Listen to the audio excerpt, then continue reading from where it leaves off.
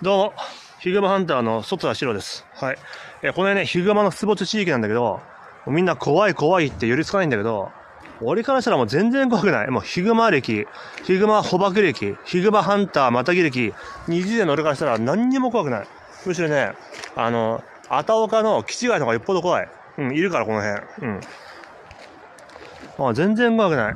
あれ、ヒグマがね、半径4メートル以内に来たらね、一発でわかるからね。うん。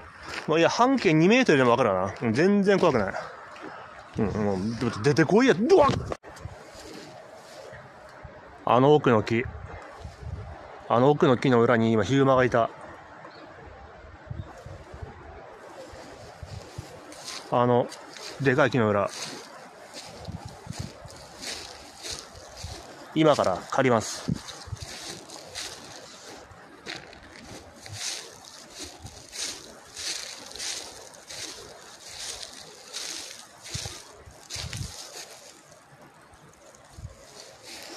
いるいる、いるいる、いる。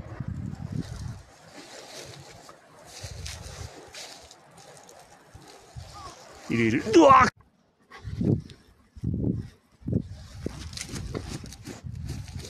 ヒグマがいる。ヒグマ、ヒグマ、ヒグマ。ヒグマ、ヒグマ。